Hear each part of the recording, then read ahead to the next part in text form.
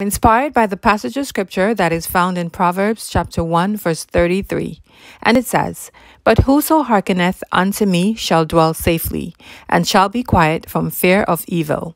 I pray that we will grasp hold of the fact that there is pleasure in doing God's will. And along with doing his will comes the confidence of feeling safe and protected in his arms.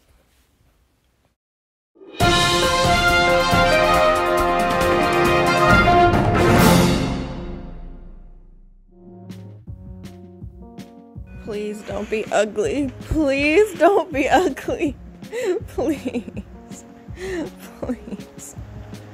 oh my god!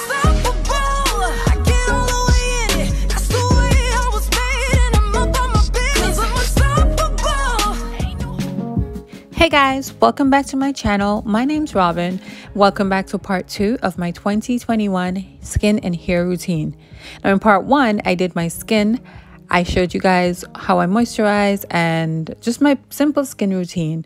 And I threw in a bonus by just throwing on some makeup for you guys. In today's video, part two, we're going to be focused on my hair.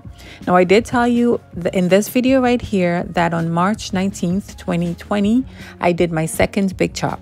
My hair is pretty short it's almost a year and it has grown quite a bit, but it's still pretty far off from my desired hair length. However, I still managed to fake a high puff on my super short hair and also to fake laid edges on my extremely thin edges.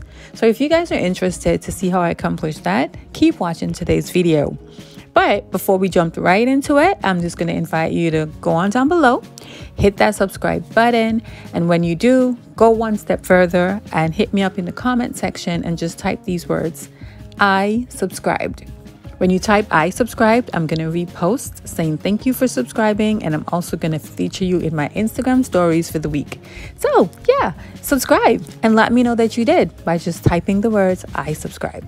Thank you so much for doing that. Now, let's jump right into today's video because I'm super excited to show you guys how I accomplished this look on my super short hair and then let me know if you're going to try it on your short hair because if it worked for me, it's going to work for you. So let's jump right into it.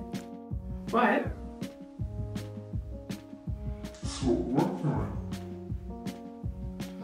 What do you guys think? what do you guys think? Anyways, for the tools that I'm going to be using for my hair is um, I do have my Jamaican Black Castor Oil, the original mango and lime brand. And I'm just going to put a couple drops on my fingertips like so. And I'm just going to use this just to unravel the flat twist. Today's look is inspired by one of my favorite YouTubers, Casey. I've basically been stalking Casey's page because we both did our big chops. Well, I did a big chop and she shaved her head. She shaved her head in February of last year. I did a second big chop in March. So technically around the same time. And I've been stalking her page, just kind of like monitoring her growth and kind of measuring it to mine just to see if I'm doing the right things and if I'm retaining length the way I should. So she has become one of the standards basically that I measure my hair growth by it's sad. But yeah she she did this style on her short hair her twa and i thought let me try this. And so here i am i'm just using this pick comb just to fluff my roots because this hairstyle really calls for a lot of stretching. Now she did use um, heat to stretch her hair, but I refuse to stretch mine. I, I refuse to use heat on my hair because coming out of heat and color damage, I want to be as careful. I want to do all the right things with my hair. So let's see how it turns out because I'm not using any heat to stretch my hair. But I do have my spray bottle and I'm just spraying the roots of my hair once again. And then I'm just gonna, once I do that, I'm gonna go in with my Mane Choice biotin infused gel. I don't have any eco styler. I ran out of eco styler. So again that may pose a bit of a problem for me but we'll see how it turns out.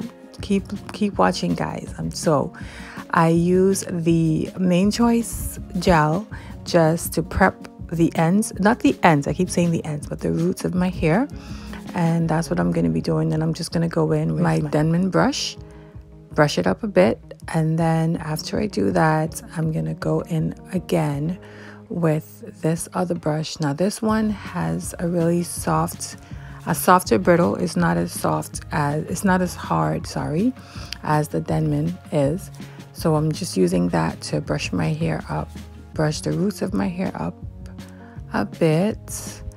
And then after that, you'll just see me again. This is what I, this is my way of trying to stretch my hair without without using heat because this is a high puff, but my hair is TWA. So we have to do as much of manipulation and maneuvering as we can to fake this high puff look. So this is what I'm doing by constantly brushing and pushing up, brushing and pushing up. This is my way to stretch my hair. And so the next step is I do have this black hair tie and I'm just going to use this I'm going to couple it with a rubber band, have a rubber band, and this is the really neat part that I saw Casey did that I thought, oh my gosh, I have to try this. So I just take the rubber band and I wrap it around the back of the hair tie and then once it's this part you have to be really careful with though because don't don't go too too tight with the rubber band because you could risk ripping your hair out and the nape of your head. So once that's nice and secure not too tight i use i just push as high as i can. Push push push. There we go. And there we go. Once that's nice and secure in my hair it's not tight. I'm not feeling any type of pressure or anything on my hair, I go in again with my Afro pick and I just fluff and fluff as much as I can. Now, I know this is probably cute and I could leave the house like this and I'd be all good once I get my edges right, but that's not what we're doing today. We're attempting to have definition. Now, I do need to let you guys know that I've never really had definition on my high puff. I would normally just do it like this, fluff it, and go. But what I saw Casey did, and I really loved it, and I thought I'm gonna try it. I'm gonna accomplish definition on my high porosity TWA here. But before we show you guys how I accomplished that, let's get these edges right because we're also faking like we have some edges. Now remember, I've said to you guys, I don't have edges. My edges are really thin, but Casey was like, we can have we can have edges. So let's let me show you guys how I go in and I do my little trick. This is not necessarily an edge brush, but it's close to it.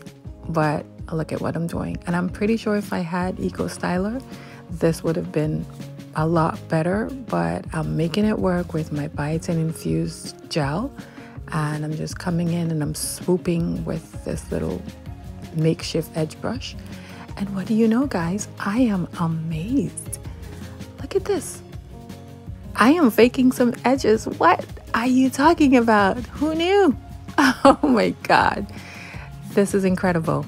And so once I do this and I take a little minute to examine it and I'm really happy with the results, the next step is going to be for me to just go in and secure this. And what I use to secure it is this. Um... Y'all, I promise you, my edges have never looked like this before. So I'm not gonna lose this. And in order not to lose it, I'm taking this scarf and I'm gonna make sure I go around and I securely fasten it around my head. Make sure it's secure, but not too tight because this, the hairstyle is going to be revealed the next day and I have to sleep with this. So I don't want to get any headaches. I don't want to be uncomfortable while I sleep. So I make sure it's tight. As you can see here, it's secure, but not tight. Once that's done, then we're going to move on to the next step. And this is where it gets interesting because again, I'm about to defy the odds. I've already defied the odds by having edges. So now I'm going to have definition and I'm fluffing the roots one more time. And what I'm going to use to get definition is my Shea Moisture Curl Stretching Pudding. So it's supposed to stretch and elongate your curls. So let's see if it works for me. So what I do is I just go around my head quickly and I use a little dab of my Shea Moisture Curl Stretching Pudding and I twist. And I do this for my entire head.